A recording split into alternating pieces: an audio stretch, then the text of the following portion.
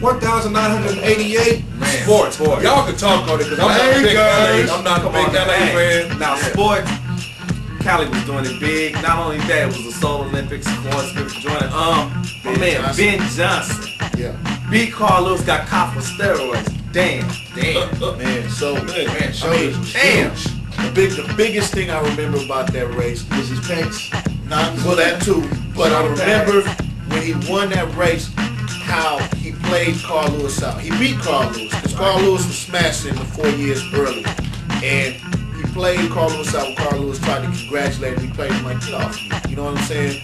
And so it, it's, it became apparent to me that this dude wanted to beat Carl Lewis not just as a competitor, but he really had something personal against him. so when he showed up that he tested positive for uh, know banned substances, it didn't surprise me because it seemed like he wanted victory more than anything, and he would have done anything to get it. Now educate me on that. You said he beat him four years earlier. No, I'm saying Carl Lewis was smashing on everybody four years Right, ago. in the 84 In the 84 When he had long on the top and nothing on the sides.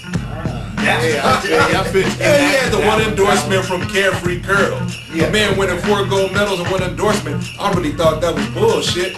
But when you go on and say long on the top and nothing on the sides, I mean, that's what you get from that. See what you think about uh, Ben Johnson. Well, let me tell you. First of all, with the curl, I mean, I had a curl in, in 81. You know what I'm saying? They used to call me booty naps, dog. You know what I'm saying? That- that's for real. Matter of fact, this fool over here is the one who was doing it.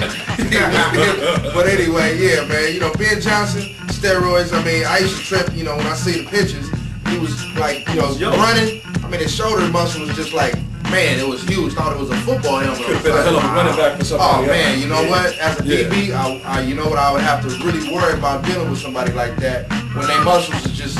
But I'm glad to know it was Royce, and not no, you know, real stuff. You know what I'm saying? Yeah. You know, Right. But Now check it out. Hey, Doug Williams in the Super Bowl. Now he made history playing the Super Bowl, passed for the most yards ever.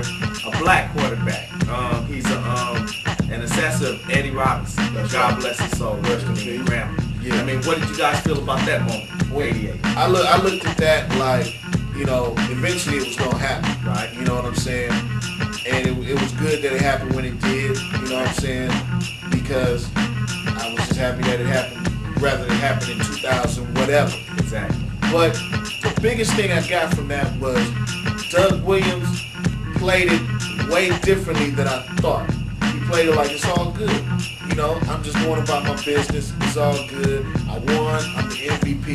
Hey, no problem. Why shouldn't I be? You know what I'm saying? It was like no shock to him, and he felt like he, he belonged. And that was the impressive part about it. That it was no like, oh, I can't believe it. This is great. He was like, yeah, I did it. And you know what I can saying? tell you some incredible facts with that.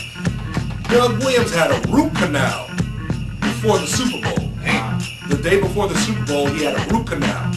Not only that, do you know after the Super Bowl, you know you figure the endorsements you get. I'm going to Disneyland. He didn't get the MVP. The MVP went to Timmy Smith, who later was out of football, what have you. Right. Doug Williams got one endorsement from Atari Electronics for $100,000. Now, Atari was becoming defunct at that time. Right. So I thought that was amazing. And also, Doug Williams, you mentioned with the Grambling uh, situation. Doug Williams was fifth in the Heisman voting in 1977, if I'm not mistaken. So it's been a long time Long coming. time coming for And like Doug. you said, with Doug, it seemed like it just was natural. Yeah, and, and you know what? It was natural. I mean, you can tell just by the way he was playing. I mean, that team wouldn't have done anything without him. You know, the MVP, that was a fluke game. That was obvious by the, by the rest of his career. Right. You know what I'm saying? And that's no disrespect. Uh, hey, everybody here wish they could have ran 225 yards in the Super Bowl. Right. But, you know, hey, he did that, but it, that was nothing else. Doug Williams carried that team that year with the help of some great receivers, the Hogs on the line, Yeah. you know, and all of that. And he had to beat him because Jay Schroeder was an ugly motherfucker. Oh, oh, and let me tell you, let me say this one last thing. Earlier that year, Jay Schroeder was in the game. He was the starter. And Jay Schroeder got got hurt on the field. And Doug Williams went to take the field. And Jay Schroeder waved Doug off like, get your ass up. No, no, I'm staying in the game.